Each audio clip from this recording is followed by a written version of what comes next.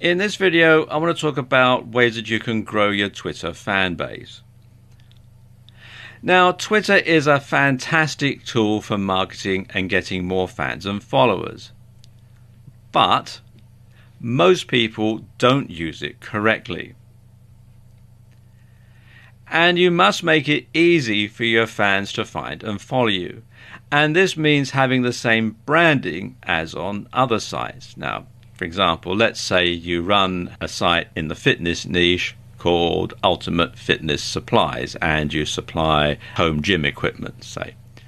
Well, you would want to call your business obviously Ultimate Fitness Supplies. You would have your website ultimatefitnesssupplies.com. On Facebook, you'd be facebook.com forward slash ultimate fitness supplies. On Twitter, you'd be at ultimate fitness supplies and so on. And you keep that up all the way across. Something else that you should do on Twitter, and it's very simple, but surprisingly people don't, is to simply ask people to follow you. And if you place a Twitter button on your website and ask people to follow you, well, that's usually enough. But if you find people still aren't signing up, it could be because of one or two things. First of all, either no one knows that it's there, so you'll need to make your sign up button a bit more prominent, or you're not providing enough incentive for people to want to sign up, and this can be a big problem. So instead of just leaving it to chance, why not say in the occasional blog post something like, to stay up to date with all our latest content and special offers, please follow us on Twitter or for exclusive special offers, follow us on Twitter. And then occasionally, perhaps you might tweet a coupon code number to your Twitter fans that they can use to get a discount uh, when they come to check out if you have um, a shopping cart site, that sort of thing. So it gives people a really good incentive to follow you on Twitter because there's something in it for them as well as being able to receive all your latest tweets. Now, something like this might just be enough to draw attention to your Twitter feed and get people interested. And this works even better in video, so if you occasionally vlog, be sure to ask people to sign up at the end of each video. And you can perhaps have a graphic that says, you know, follow us on Twitter and then uh, your Twitter tag, etc. And once you have a decent number of followers, then you can use the option to have this number displayed. And this can be really powerful because you know, people love to follow the herd. And you can create a follow button quite easily on this site, which is publish.twitter.com. And just simply enter your Twitter URL in here and follow the on screen instructions. But of course, the best way to get people to follow you on Twitter is to simply deliver quality content, content that people want to read. But unfortunately, so many people get this one totally wrong. So let's look at these particular tweets. And let's say again that you're in the fitness niche. Something like this, you know, do you want to get in shape faster? Try our hashtag chin up, hashtag bar, hashtag fitness, hashtag hypertrophy. Running in a marathon? Make sure your hashtag training, hashtag shoes are up to the task. We're offering a 10% discount to new clients for this month only. Sign up now at, and you've got the bit.ly URL there, hashtag deals. Our dumbbells come in a range of weights and sizes, hashtag dumbbells, hashtag weightlifting. You get the point. So, what's wrong with this exactly? Well, it would be quicker to ask what's right with it. I mean, think about it. Would you follow that kind of a Twitter account? You know, what would be the point?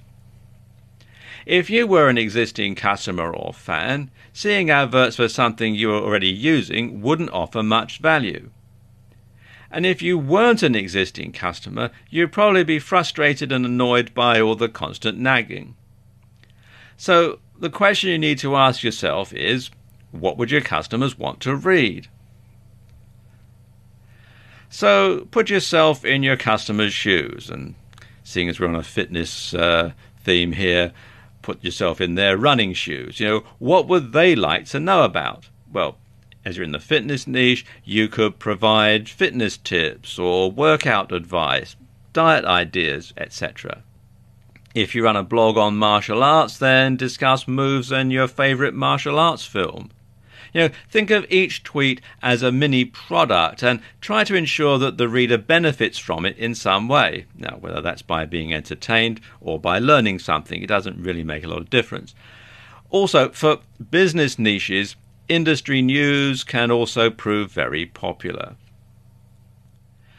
Another approach to take is a little less on the nose. You know, instead of directly discussing your niche, your industry, or your service, you can talk about the lifestyle of people involved with your topic instead. You know, try and sell the idea that you're all part of a community and tweet about subjects that might inspire or subjects that your audience can relate to. And you don't have to come up with original material every time either you can retweet tweets from other leading players in your niche. And this helps to build a sense of community and it tells followers that it's okay to retweet your tweets too. And of course, then you'll spread your word much further and wider than you would do if it was just to your own followers. So there you go, just a few ways that you can grow your Twitter fan base. In this video, I want to give you some tips on building a massive YouTube following. Now, why is it that some YouTube videos get so many views they practically break the counter, yet others get seen so infrequently the page looks like Tombstone before the Outlaws ride in? And how come some YouTube channels have many thousands of subscribers and their video stats hit four figures within a few hours, whereas others might get one or two subscribers a year and their videos never get viewed a hundred times before they get taken down? Well, there are a number of different answers to that question. And while you might not have as many views and subscribers as Gangnam Style, you can certainly build a solid following and get a decent number of views for your videos. The main determining factor for how popular your videos are going to be comes down to your niche, and some niches are more popular than others. In general internet marketing, the biggest niches are fitness, dating, self help, and making money. But some of the most popular subjects for YouTube videos outside of those big internet marketing niches are gaming, makeup tutorials, grooming and style, travel, technology, fails, cats, DIY, comedy, and lifestyle vlogs.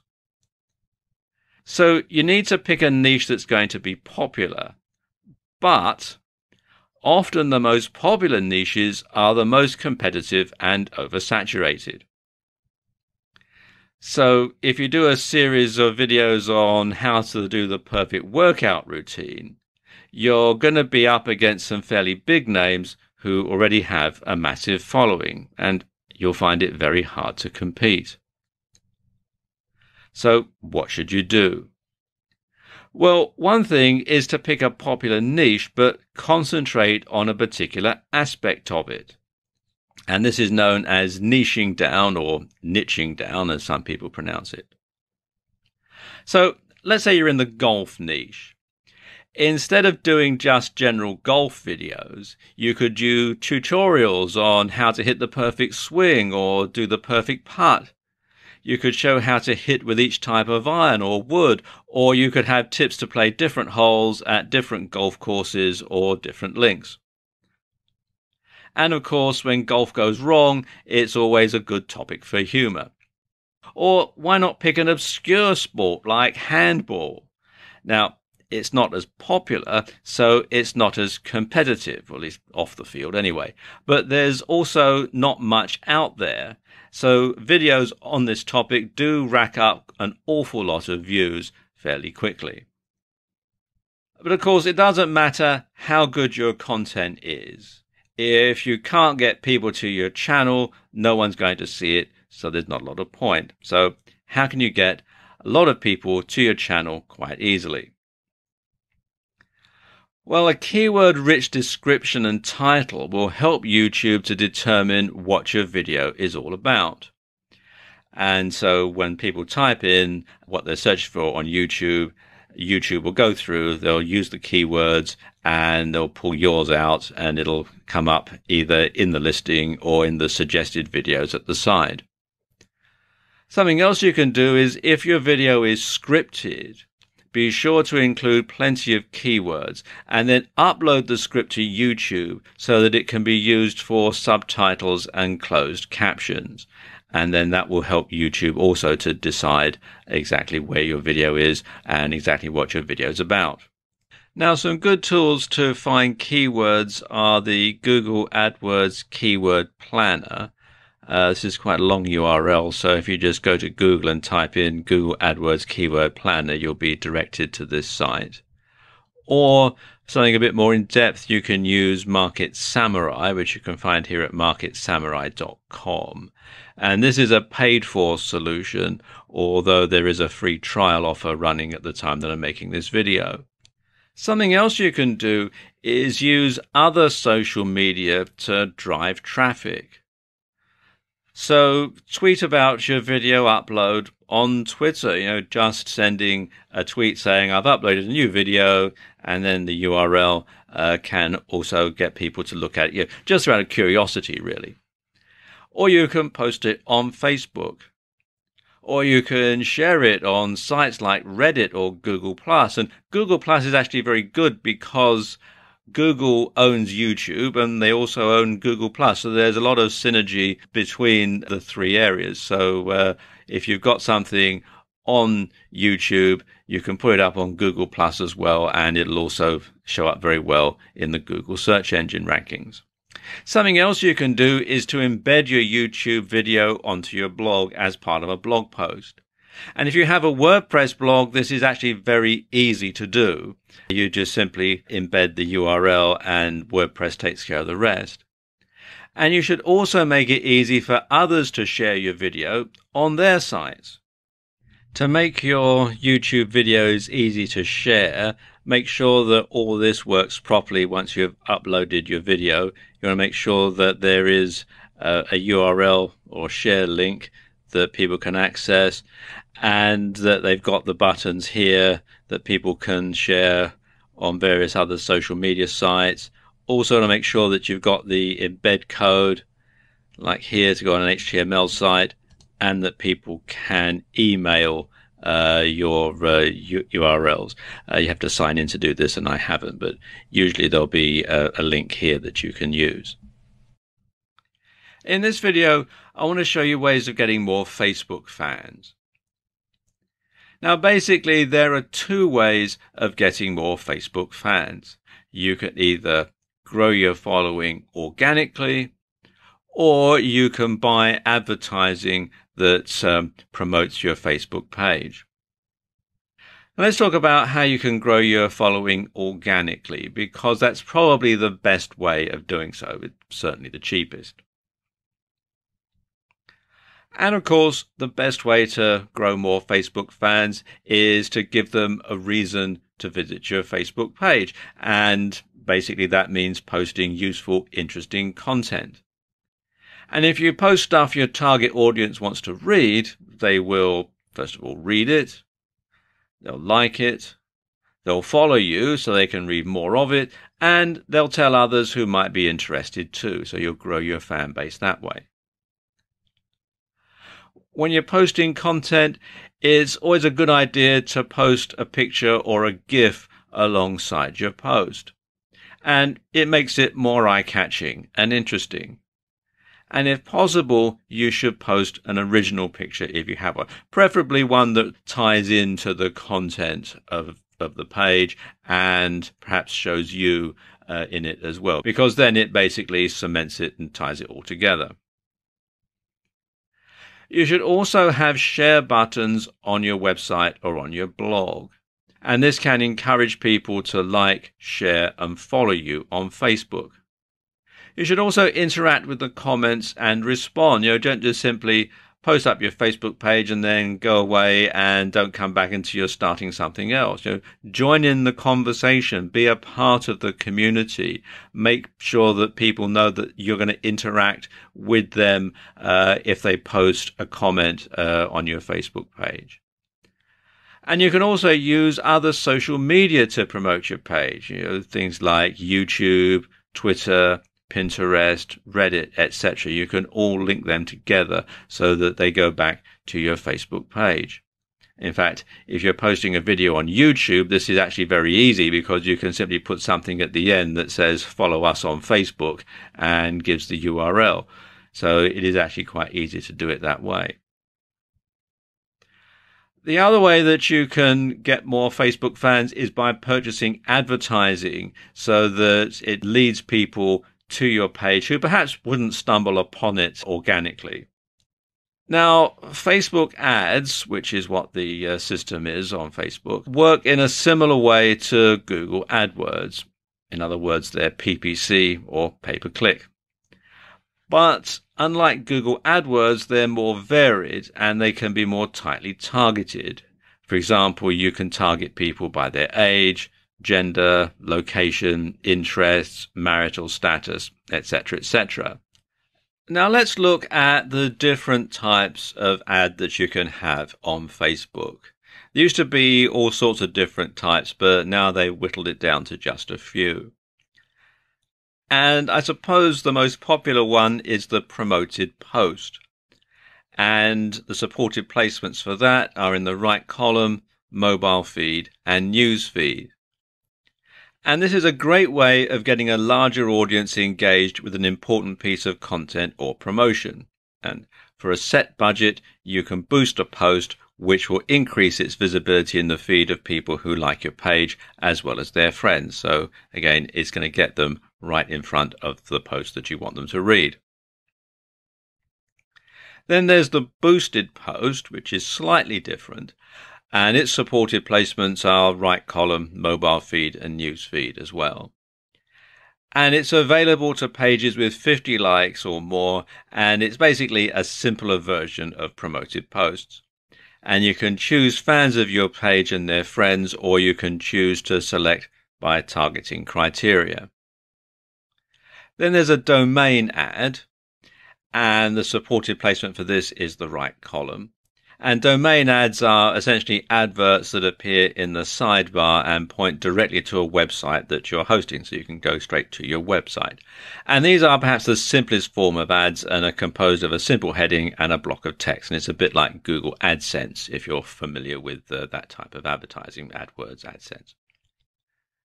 Then there's the multi product and this is placed in the newsfeed and the mobile newsfeed.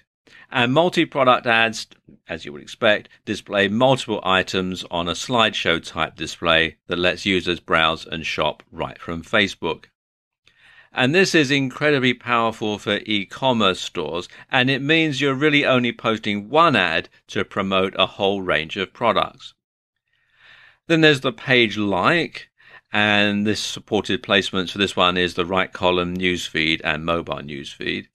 And this is an advert for your Facebook page, essentially. And with these, you're trying to increase your number of likes so that you can generate a bigger audience to market to. Then there are video ads, and the supported placements are the right column, newsfeed, and mobile newsfeed. And video ads lets you showcase a video. And these are good for getting likes and they're powerful for video marketing. Then there are app ads, and the supported placements are the right column and the news feed. And if you have built a branded app for Facebook, then this is how you can promote it and encourage downloads. Then there's an event ad. Now, these are in the right column, newsfeed, and mobile newsfeed. And they as the name would imply, allow you to advertise events. And this can be useful for increasing interest for a company launch event, for instance, or a conference, or if you've got a bricks and mortar store and you're running a special event or a promotion, then you can use this uh, to tell people about it. And finally, there's an offer. And the supported placements are the right column newsfeed and mobile newsfeed. And an offer advert is useful for companies who want to market a special offer and anyone who clicks on your ad will be emailed a code that they can use in order to redeem your special offer. And you know, this is great for encouraging sales. And all of these different ways will help you to build your fan base because even if it's something like an offer ad, people are going to know about your Facebook page and you can encourage them to like you and follow you and so on. So this is just a few ways that you can build your Facebook following, build your Facebook fan base. Instagram and Pinterest are often overlooked by marketers, which is a big mistake because you can actually generate a lot of traffic and sales from these particular two types of social media. Now, for the uninitiated, I better explain that Instagram and Pinterest are picture based media and they cater mostly for a female audience and are generally reached via smartphones. So let's look at each of these in a bit more detail. First of all, Instagram. Now, Instagram is an app that's growing in popularity. It has over 300 million users and it's adding more every day. Now, at its most basic, Instagram is an image sharing app, and a fairly low quality one at that. But that's not to say it can't form a key part of your social media strategy. In fact, some really big companies are using Instagram to get their message across. Companies like Sharpie, Starbucks, and Target, to name but a few. And sports teams like the LA Clippers basketball team are heavy Instagram users too. And there are two good uses that you can put Instagram to. One is influencer marketing, and the other is local marketing. Influencer marketing means you find someone who already has a large following on Instagram and has established themselves as an authority. And these people will have the ability to sway the opinions of a large group of followers, which of course is where you eventually want to be. So instead of spending months or years trying to reach this point, why not piggyback on the success of someone who's already got there? Or to put it another way, why not see if you can't get someone to post on your behalf to their audience? Of course, there needs to be something in it for them, and this could mean that you pay them, you promote them on another social media in exchange for them promoting you, you know, something like an ad swap, uh, but on social media rather than email. Or you could just try targeting influential members of the public and hope that they'll like your brand enough to do it for free, although that doesn't happen very often, if I'm honest. Likewise, when you've built up a large Instagram following, you can offer to post for other people in your niche in return for them posting for you in another media so you can spread your net a bit wider. Instagram is also great for local audiences. And this is because the pictures have an optional location tag, which you can use to help users geolocate your bricks and mortar store. And this can be very useful for drumming up business. So, say for example, you have a hairdresser's or a salon. You could ask your clients if you could take a photo of them with their new hairdo and post that on Instagram. And ask them to do the same if they have an Instagram account. So you're going to spread the word out to all their friends and followers. Now, Instagram is a perfect match for Twitter as the two sites use the same type of hashtag. And it's easy to link an Instagram photo into a tweet. Then let's talk about Pinterest because Pinterest is slightly different. It's still based around pictures, but they use it in slightly different ways. Essentially, Pinterest works by creating mood boards, and a mood board is essentially a collage made up of images and other materials that you've either created yourself or you've found on the web. For example, one of the most popular types of boards that users will create are wedding boards. And when an engaged couple begin planning their wedding, they'll often start by creating a Pinterest board and then looking for inspiration. They'll look at boards created by other users and search for ideas for wedding dresses, wedding locations, table decorations, wedding cakes, suits, etc. Or they may create separate boards for each of those things. And there are many ways that Pinterest gets used by marketers. For example, you could showcase a new web design or app UI. You could have ideas for interior design. You can put together inspirational images to get people to keep fit if you're in the fitness niche. You could have things like moves or goal physiques, etc. You can keep customers updated with your brand in a more visual way. You could perhaps, if you have uh, a clothing site, you could have fashion and outfit ideas. If you're a tattoo artist, you could showcase tattoo ideas and much more. Now, beyond the basic features, there are also some more advanced options and tools on Pinterest that are going to be especially useful for marketers. And one of them is rich pins. Now, rich pins, as it says here on the page, are pins that include extra information right on the pin itself. And there are six types of rich pins. There's app, movie, recipe, article, product, and place. And if you come here to this page, business.pinterest.com forward slash en forward slash rich hyphen pins, you can see it explains all about them. And you can click the links to uh, get more information in detail on all of them. Finally, Pinterest also provides a large amount of analytics data. Now, to get this, you'll need to convert your personal account to a business account, and at the same time, you'll need to verify your account. From there, you'll be able to see what pins are getting pinned from your website or your blog. This in turn lets you see which content is really performing well and engaging your audience. And there are other advantages of making this switch too. Can you promote your blog or business with a personal account? Well, of course, you can, to an extent, but there are some considerable advantages of making the switch. To start with, Pinterest actually requires you to make your Pinterest account a business one if you intend on using it for profit.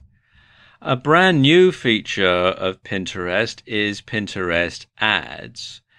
And as the name would suggest, it enables you to actually buy advertising on the Pinterest platform.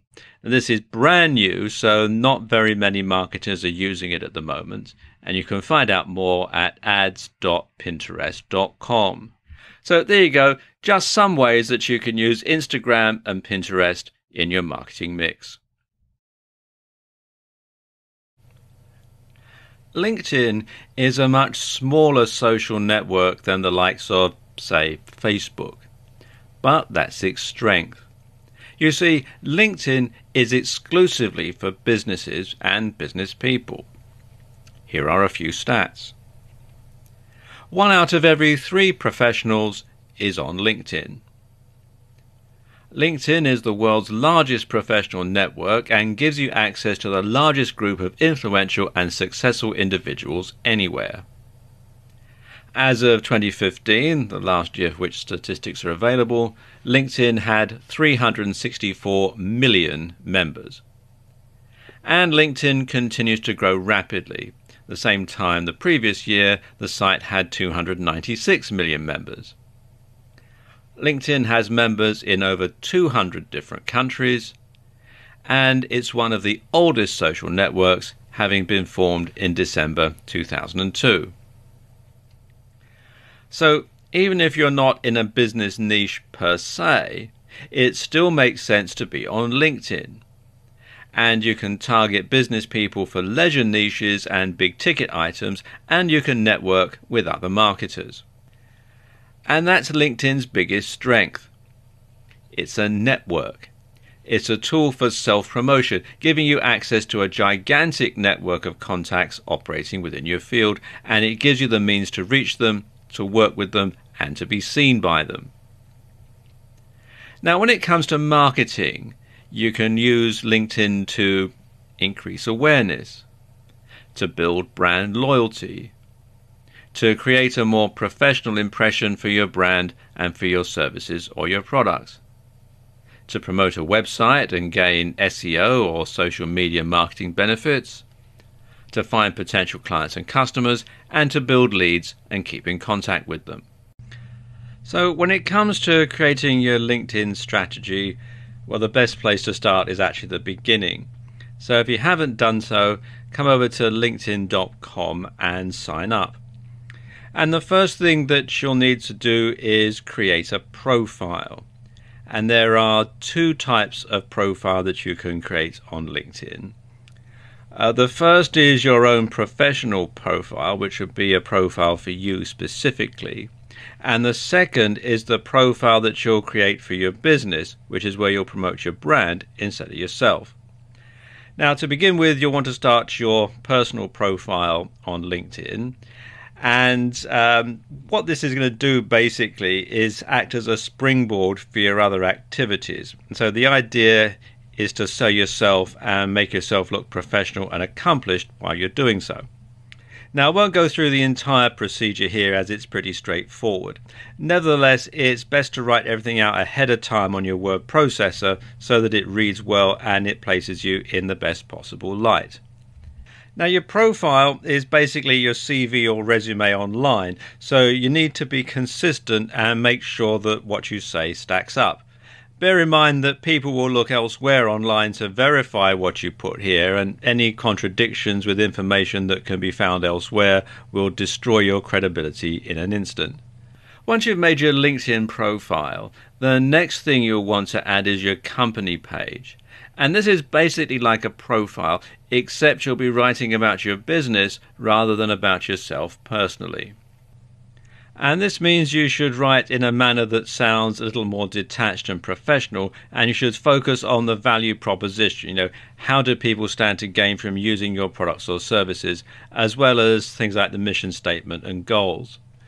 Now, they do rather hide how you uh, set up a company page. So if you come to linkedin.com forward slash company forward slash ad forward slash show, uh, then you fill in your company name, your email address, you check the box here that says I verify I'm an official representative, and then click continue. Now, your email address at the company must be at the company domain. So if you try and enter a Gmail address in here, for example, uh, you'll get rejected.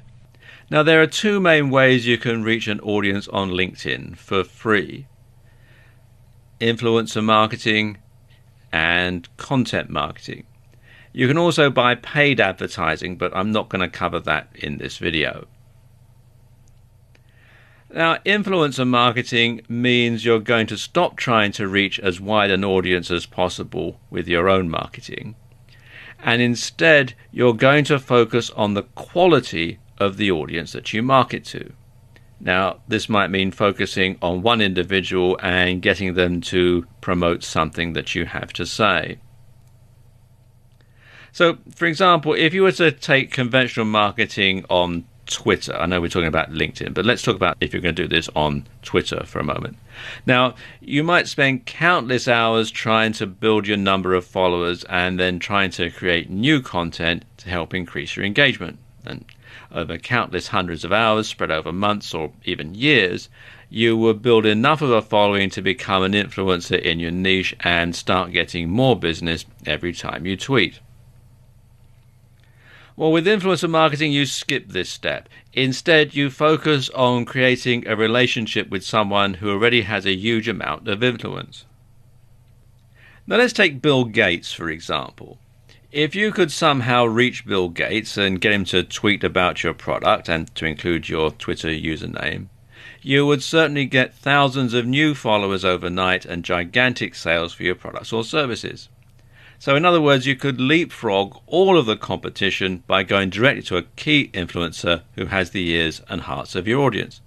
And this way, a single retweet, guest post, or shout out could be of an order of magnitude more effective than hundreds or even thousands would regularly be. Uh, the problem is, Bill Gates probably doesn't want to shout out for you on social media, and you probably have no means of reaching him anyway. People like Mr. Gates get spanned by hundreds, if not thousands, of people every day and probably have an army of minions to wade through it all for them. Only the really important messages from people that they know and trust get through. And here's where it's easier to contact people via LinkedIn because this is where LinkedIn's degrees of separation come in if you could find someone who knew someone who knew someone who knew Bill Gates, you would be connected by three degrees of separation. And like I was saying earlier, this is where the fact that LinkedIn is a network can be very helpful. Because anyone who is connected to you by three degrees of separation or less will show how you're connected to them when you view their profile and when they view yours, of course.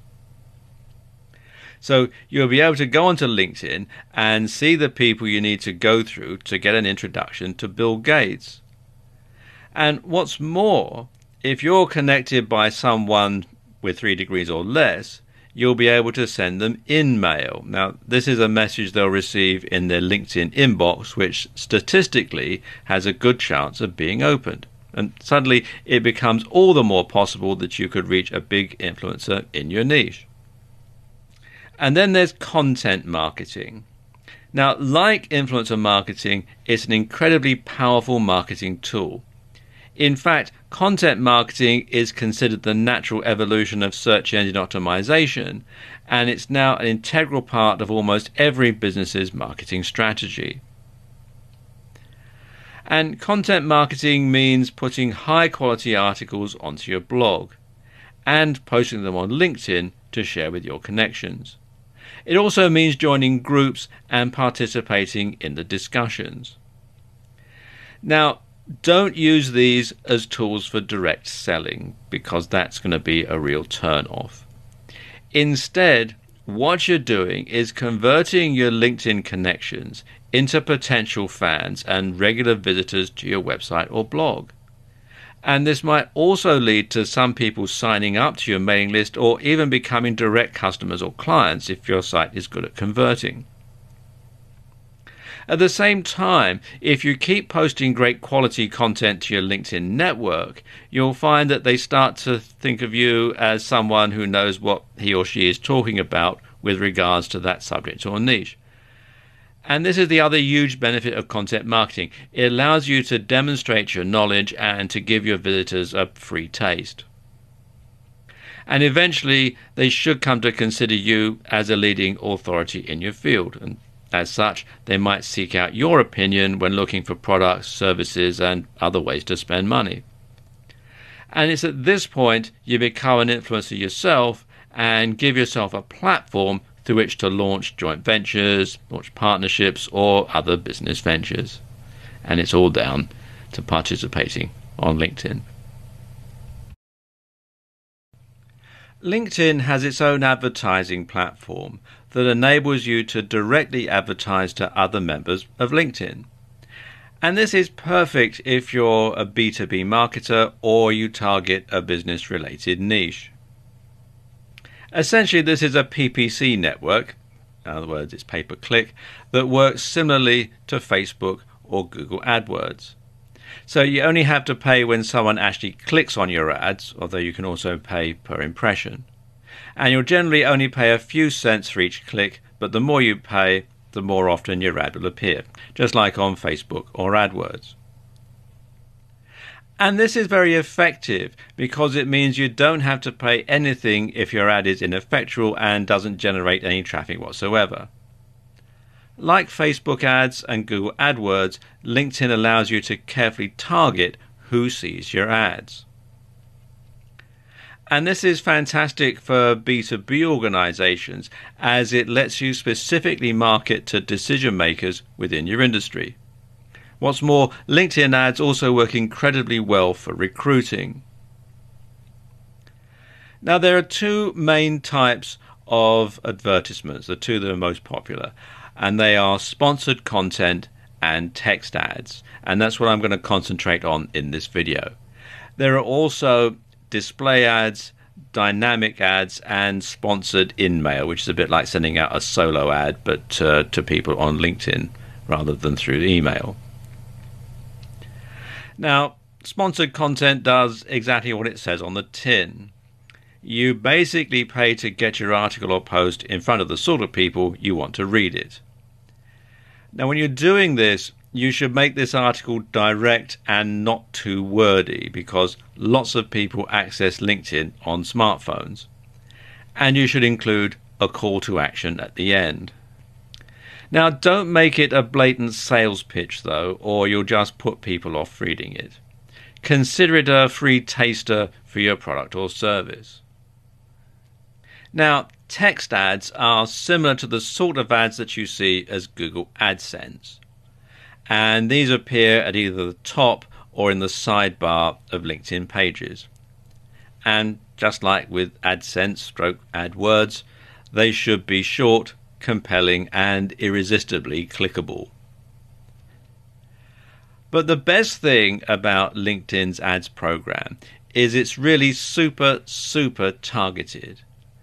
And the platform lets you drill down and target audiences based on location, gender, age, LinkedIn groups they're members of, skills they've listed, schools they attended, or colleges and universities they graduated from, and much more. And a unique advantage that LinkedIn advertising has over AdWords or Facebook, though, is the ability to target by company name, business category, industry size, job title, and seniority. So if you only want to reach vice presidents of marketing in North American digital technology companies with more than 500 employees, you can. And you can read more about this in some detail at business.linkedin.com forward slash marketing hyphen solutions. Now, the exposure you'll get from LinkedIn ads is not as great as you get from Facebook or AdWords, but for the right business model, it's definitely worth considering. In some ways, the slightly less popular nature of this platform can work in your favor as there'll be less competition. One of the most phenomenal growth areas in recent years has been in the area of sharing photos and short clips as a tool for social communication. It's a great way to build an audience for your website or blog and a fantastic way to show off your product or service to people. As more and more people get smartphones, and most of the platforms we're going to cover in this videos are smartphone based, this can only get bigger. The main platforms that we're going to cover in this video are Snap, which was formerly known as Snapchat, Vine, and Periscope. Now let's take a look at Snap. This used to be called Snapchat, but it recently changed its name and it's going into hardware as well as software. Now, Snap works with a very specific media for communicating with users. And there are a couple of differences that make this platform unique and one of the most interesting social media platforms in use today. You know, like using photos and videos to communicate with other people. While Twitter and Facebook and most social media platforms mainly communicate with text, the only text you'll find here is the captions on pictures and videos. Another difference is that when you post your pictures and videos, they'll generally last for only 1 to 10 seconds, although you can post stories that can last up to 24 hours. Then they vanish like a ghost, hence the logo. And it's better to use stories more than snaps to advertise your products or services, because obviously they stay around for longer. So think of a story like a viral video. You know, if you make it overly promotional, well, quite frankly, it's just not going to work. So you want something clever, something that no one has ever seen, and something that evokes emotion. And this will make people want to share the story with their friends and it'll give you the exposure that you're looking for. Creating good stories will also make people want to follow you.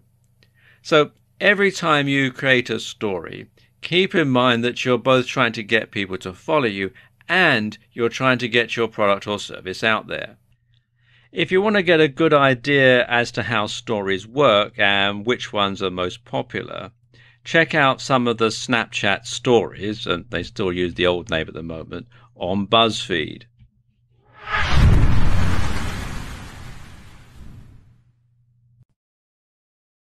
Breaking news. Snap Incorporated is releasing a new piece of hardware, Snap Spectacles. These are glasses with a built-in camera. Simply tapping on the side of the glasses will record 10 seconds of video footage from a first-person perspective.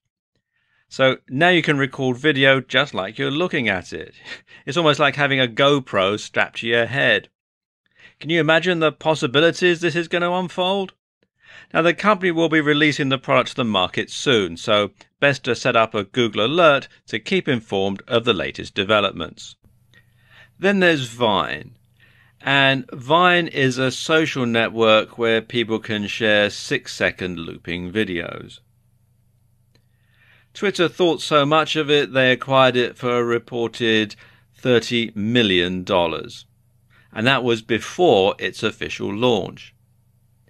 As of December 2015, the last statistics that are available, Vine had 200 million active users.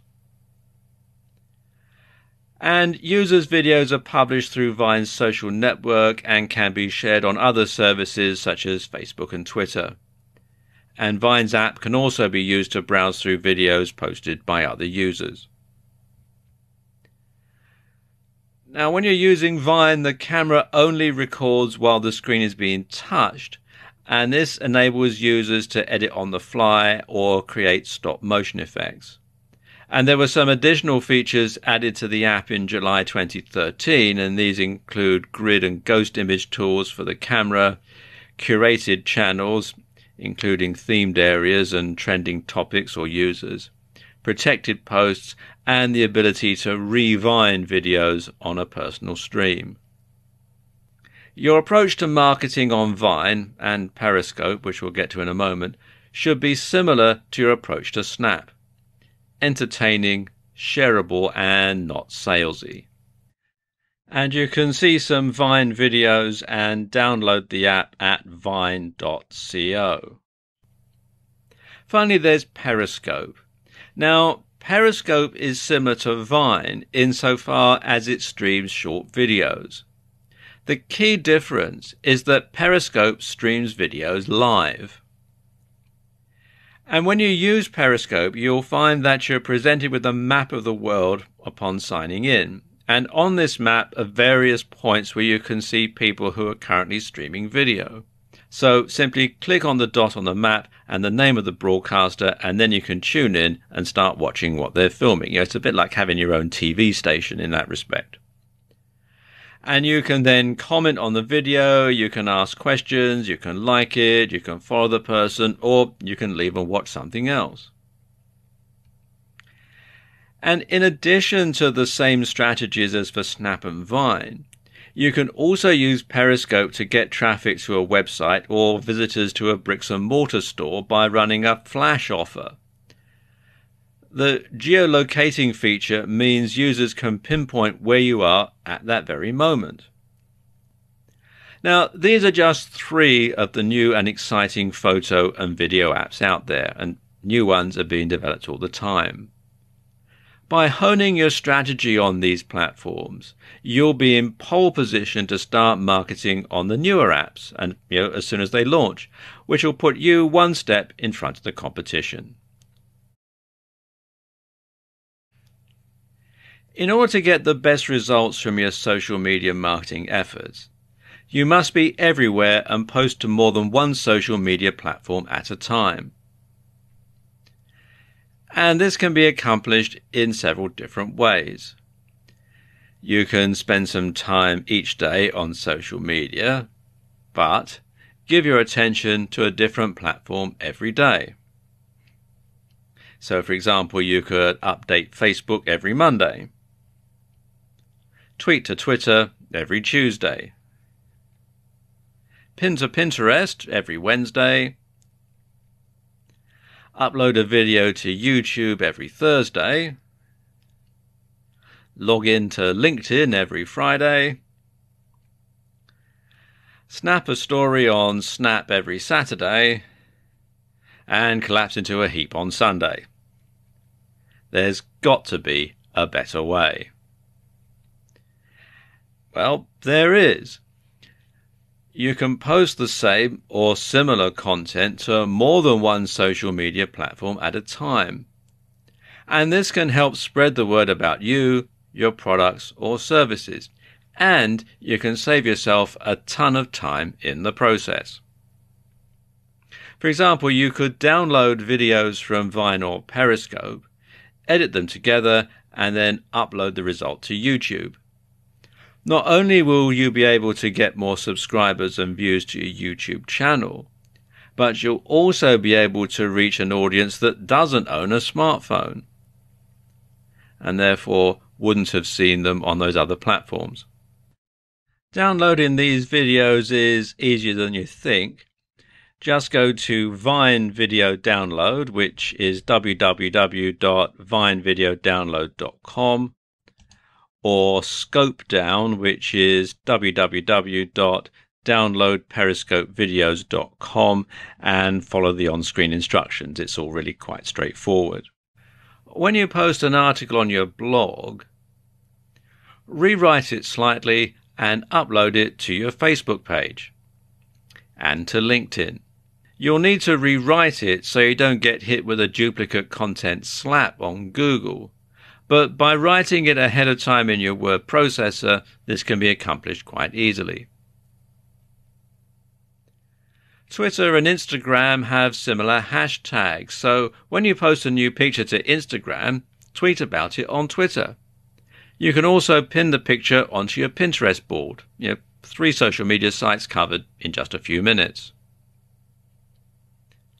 You can also post your latest tweets on Facebook or use them as a comment in a LinkedIn group, although, of course, you must make sure that it is relevant.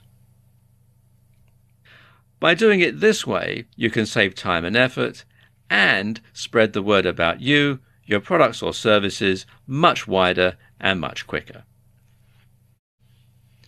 Your blog should be the hub of your social media strategy. I'll explain why in this video. There are a number of reasons why you should do this. First and foremost, everyone should be able to access your blog regardless of what operating system they're using and regardless of whether they're using a PC, a tablet, an iPhone, or an Android device. You know, everybody should be able to uh, get to your blog page regardless. So once you've got people to your blog, you can then point them in the direction of your various social media platforms. And if you have a WordPress blog, this is particularly easy as there are a number of plugins you can get to integrate social media. First and foremost, though, you should host your own blog on your own domain and on your own web server account. And this gives you more control than hosting on WordPress.com. So let's talk about integrating Twitter and your blog. Now, there are two ways that you can sync your Twitter account and your blog. You can incorporate a feed of your latest Twitter tweets into your blog sidebar, or you can automatically let Twitter followers know that you've updated your blog with a new post. For the former, you can use the Twitter Feeds plugin. Now, each time you post a tweet, it will automatically be displayed on your blog which has the added bonus that your blog content will change slightly and Google will treat it as new content and update its rankings in the SERPs accordingly. For the latter, you can use the WP to Twitter plugin, which will send a tweet to your followers to let them know that you've just made a new blog post. And both of these plugins can be installed from within the WordPress dashboard, and they're both free. And the same goes for Facebook. With the Facebook Auto Publish plugin, you can publish posts automatically from your blog to Facebook. You can publish your post to Facebook as a simple text message, a text message with an image, or as an attached link to your blog. And the plugin supports filtering posts based on custom post types as well as categories. And again, this can be installed from within the WordPress dashboard. Embedding a YouTube video into your blog is easy. To embed a YouTube video into your WordPress blog is very easy. All you do is copy and paste the URL into your blog post and WordPress will work out the embed code for you. So you don't need to do any coding or anything like that. Just copy and paste the URL and the WordPress software will take care of the rest. And don't forget, you can simply insert pictures that you've uploaded to Instagram or Pinterest into WordPress very easily. So why not do that as a separate post and then share it on other social media? Finally, you should make it easy for visitors to your blog to share your content as widely as possible. And the easiest way to do this is with the Shareaholic plugin. And the Shareaholic plugin basically puts a bar at the bottom of every page and every post on your WordPress blog, although you can set it up so that some things like, for example, uh, your shopping cart, if you have a shopping cart site, don't get shared.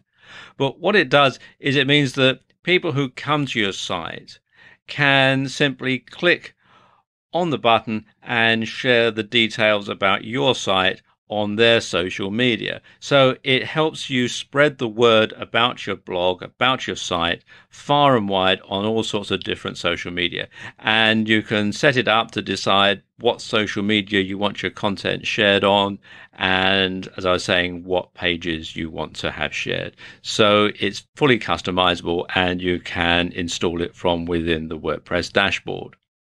So there you go. A few ways that you can make your blog the hub of your social media activities and spread your message far and wide. When you look at some of the best known brands in the world, you don't need reminding about what they are or what they do. For example, what about this one? Or this one? Then there's this one and their main rivals, this one.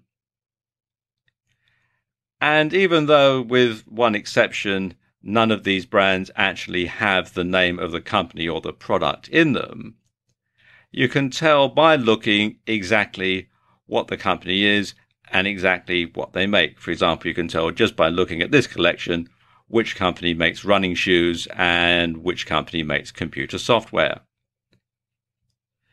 And in fact, if a brand is really successful, you only have to see its name or logo, even out of context, to be reminded about what the company does or what the product is. I mean, for example, take a look at this photograph here. Now, if you're familiar with the brand, you'll know that even though it's on the side of a racing car, it's got nothing to do with motoring. It's got nothing to do with motor racing at all, but you know exactly what it is. Uh, and if you live in a market where they don't sell this, I'll tell you it's an energy drink. But if you do live somewhere where they do sell this product, you'll know immediately exactly what it is just by looking at the brand.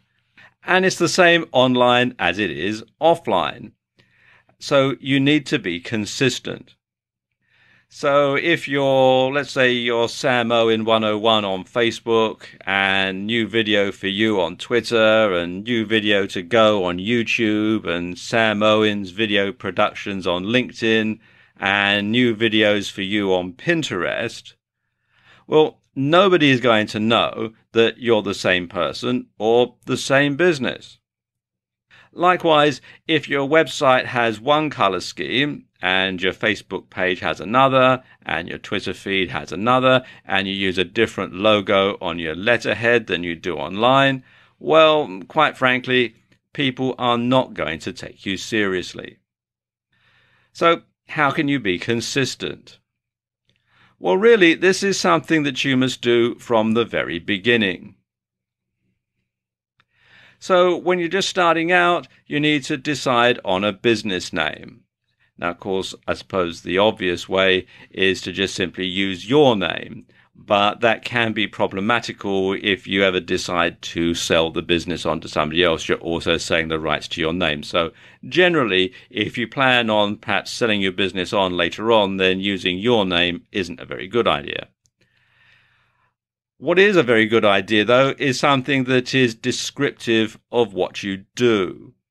So if you make a uh, a particular product or you sell a particular service, then including that in your business name is a good idea. And likewise, you can also include keywords as part of your business name that will make it easy for search engines to find you and it will sort of stick in people's minds that you are or your company is or does this particular thing and it's a keyword that sort of lodges in their brain regardless, you should have something that's easy to remember, something that's not too convoluted, something that uh, easily trips off the tongue, something that people can sort of lodge somewhere in their brain. And when they need your product, they need your service, they can simply think, ah, yes, we can have so and so. Or, for example, you could have something cryptic. Probably the best example of this that I know is Nike, and Nike was the ancient Greek goddess of victory. So, of course, a bit cryptic there. They were sort of thinking, well, Nike, victory, wear our shoes, cross the finish line first, that sort of thing. Something else that you really do need to do is to make sure that nobody else is using it. If you go to a whole lot of trouble of setting yourself up with a business name and then you find that actually somebody else is using it, you're going to have to start all over again. You also want to make sure that it's not deliberately confused with another more established business. And I'll give you a real life example here. Here in the UK, there is a chain of pharmacies and drugstores called Boots, Boots the Chemist. And they are a regular presence on just about every high street and shopping mall in the country. Now, I know of this guy whose name was Booth, and he started a chemist shop. He was a pharmacist by profession, and he started a chemist shop, and he called it Booths the Chemist. Well, Boots the Chemist weren't very happy about this, and I'm told that they got him to change the name of his shop so that it couldn't be confused with theirs. So you do have to be very careful when choosing your business name that you can't purposely confuse it with another company. Something else that you should do is to have the same color scheme. So you want to have the same color scheme on all of your social media sites. You want to have the same color scheme on your website and also offline. If you run um, a bricks and mortar business, you want to make sure that your letterhead, that your signage, if you have a van, you want to make sure that it has the same colors as the rest of your business so that you've got, you know, a completely seamless association in the customer's mind between those colors and you. You also want to have the same logo. And this is very important because like I was saying earlier in the video, people will associate the logo with you. So you need to make sure that it is the same across all social media sites. And it's a good idea to get it professionally designed. You can find someone to design a logo for you on fiverr.com. That's Fiverr with two R's. And this is a site where people would do all sorts of stuff for $5 or for multiples of $5.